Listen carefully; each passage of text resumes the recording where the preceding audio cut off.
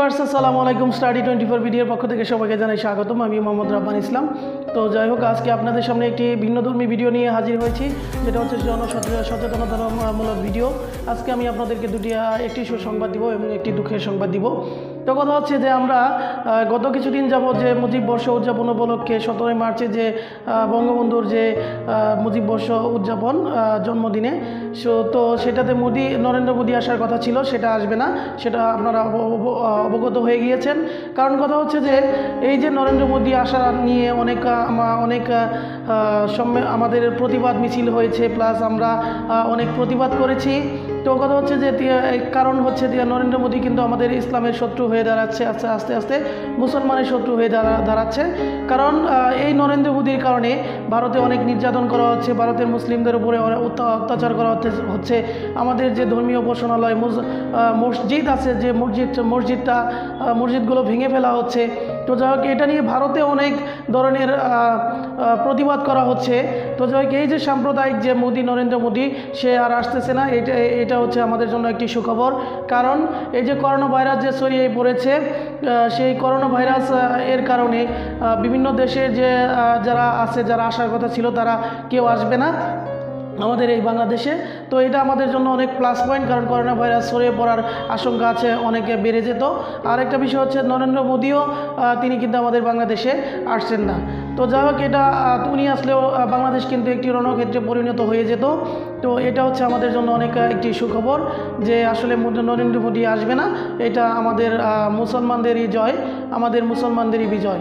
কিন্তু কথা হচ্ছে যে এই যে মুজিব বর্ষ কিন্তু এটা সারা বছরই উদযাপন করা হবে হয়তো বা কোনো এক সময় আসতে পারেন উনি। কিন্তু কথা হচ্ছে যে আমাদের যে টার্গেট ছিল বা আমাদের মুসলমানের যে আমাদের যে ইমানি শক্তি সেই শক্তির কারণে কিন্তু হিন্দু যে শক্তি তারা কিন্তু পরাজিত হয়েছে।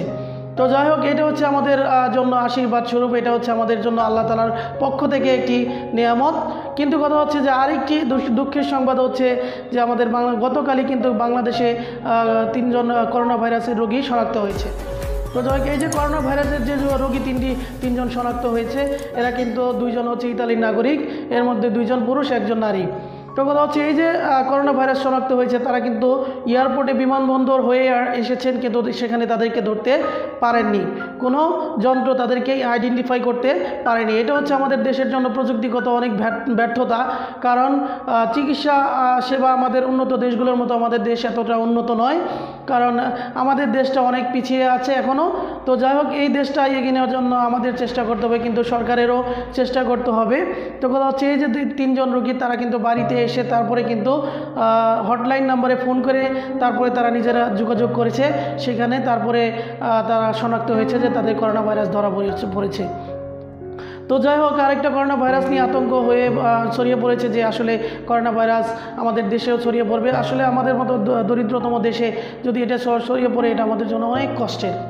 তো কথা হচ্ছে, এটা আমাদের জন্য অনেক দুর্ভোগ বয়ে নিয়ে আসবে। তো এই সম্পর্কে অনেক আপনাদেরকে সবাইকে সচেতন থাকতে হবে। প্লাস সচেতন সচেতনতামূলক এই ভিডিওটি সবার মাঝে ছড়িয়ে দিবেন। আশা করি। আর কথা হচ্ছে যে করোনা ভাইরাস প্রতিরোধের জন্য আমাদেরকে অবশ্যই কী করতে হবে? অবশ্যই আমাদেরকে মাস্ক ব্যবহার করতে হবে। প্লাস আমাদেরকে পরিষ্কার পরিচ্ছন্ন রাখতে হবে। আমাদের কর্মক্ষেত্র পরিষ্কার থাকতে হবে।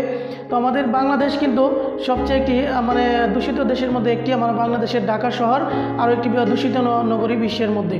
কিন্তু যে দেশগুলো, উন্নত দেশগুলো যেখানে ইতালি তারপরে হচ্ছে জাপান, ফ্রান্স, তারপরে হচ্ছে কোরিয়া, তারপর হচ্ছে চীন, এগুলো যে দেশে একটি একটি চুল পড়লেও দেখা যায়, সেই দেশগুলো যেহেতু করোনা ভাইরাস প্রতিরোধে তারা হিমশিম খেয়ে যাচ্ছে আমাদের দেশে, আমাদের কি হবে আল্লাহ জানে। এই জন্য আমাদের সকলেরকে এর থেকে বাঁচার জন্য আমাদের যত দূর সম্ভব পরিষ্কার পরিচ্ছন্ন থাকতে হবে। আর আমরা যদি পাঁচ ওয়াক্ত নামাজ পড়ি ইনশাল্লাহ আমরা পরিষ্কার পরিচ্ছন্ন থাকতে পারব। পাঁচবার যদি উদু করা অজু করা হয়, তো আমাদের যে করোনা ভাইরাস এটা সংক্রমিত হওয়ার সম্ভাবনা খুব কম। কারণ এটা যত পরিষ্কার থাকা যায়, তত ভালো। তো যাই হোক, এই জন্য আমরা অবশ্যই পরিষ্কার পরিচ্ছন্ন থাকব। প্লাস আমরা হাসি হাঁচি কাশি দেওয়ার সময় অবশ্যই আমরা মুখ ঢেকে দিব। প্লাস যারা করোনা ভাইরাস রোগী আক্রান্ত হয়েছেন আর যারা হতে পারে, তো তারা অবশ্যই মাস্ক ব্যবহার করবেন। কারণ কথা হচ্ছে, যারা করোনা ভাইরাসের রোগী না, তাদের মাস্ক ব্যবহার করা দরকার নেই। এটা আসলে যুক্তরাজ্যের যে, যুক্তরাষ্ট্রের একটি গবেষণা তারা করেছে, করে দেখেছে যে যারা করোনা ভাইরাস রোগী তারা এটা ব্যবহার করতে পারে। কারণ কথা হচ্ছে করোনা ভাইরাস কিন্তু বাতাসের মাধ্যমে ছড়ায় না। এটা হাঁচি কাশির মাধ্যমে ছড়ায়। আর এটার লক্ষণ হচ্ছে হাঁচি কাশি থাকবে, জ্বর থাকবে, প্লাস বুকে ব্যথা থাকতে পারে। যদি এটা দীর্ঘস্থায়ী হয়, অবশ্যই আপনারা যে হটলাইন নাম্বার আছে, স্ক্রিনে দেওয়া, সেই হটলাইন নাম্বারে অবশ্যই যোগাযোগ করবেন। প্লাস সেখানে যোগাযোগ করে আপনারা এ বিষয়ে তথ্য নেবেন, প্লাস এই বিষয়ে আপনারা চিকিৎসা শরণাপন্ন হবেন। আশা করি। তো যাই হোক, আমাদের বাংলাদেশে যেন করোনা ভাইরাস ছড়িয়ে না পড়তে পারে, এটা এই জন্য আমাদেরকে সবাইকে এগিয়ে আসতে হবে।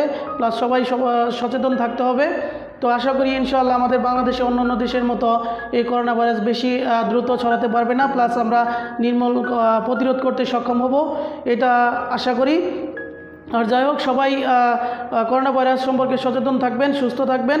আরেকটা বিষয় হচ্ছে যে করোনা ভাইরাস সম্পর্কে এত উদ্বেগ না হয়ে আমরা সবাই প্রতিরোধ করার চেষ্টা করব। যেহেতু আমরা মুসলমান, আমরা মুসলমানের জাতি, আমরা কথা হচ্ছে যে, আমরা যেহেতু নামাজ পড়ি, আমরা যেহেতু পরিষ্কার পরিচ্ছন্ন থাকি, আমরা যেহেতু হালাল খাবার খাই, তো আল্লাহ তালা অবশ্যই আমাদের জন্য দয়া নিয়ে আসবেন। আল্লাহ তালা অবশ্যই আমাদেরকে সুস্থ রাখবেন, এই আশা ব্যক্ত করে শেষ করতেছি। আর যদি ভিডিওটি ভালো লাগে, অবশ্যই লাইক দিবেন, একটি কমেন্ট করবেন শেয়ার করবেন প্লাস সবার মাঝে জানিয়ে দিবেন করোনা ভাইরাসের সচেতনতা সম্পর্কে।